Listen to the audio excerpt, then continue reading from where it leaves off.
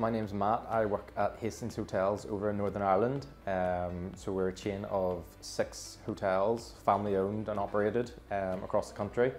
And we've been using Hotels Network for four or five years um, to great effect for us.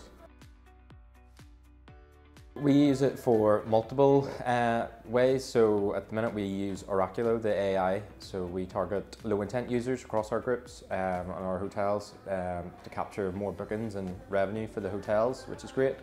We also use it for the likes of pop-ups and notes and inliners um, with guest information if a pool's closed or if there's an event on in the city to make them aware of things um, and also the chance of hidden discounts on the day um, again to those low intent users just to, to get them over the line.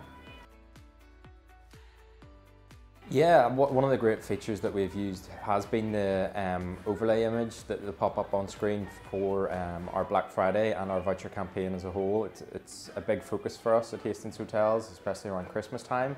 And we found the likes of the countdown timer and the, the book now uh, is definitely very rewarding and, and a good conversion tool for us.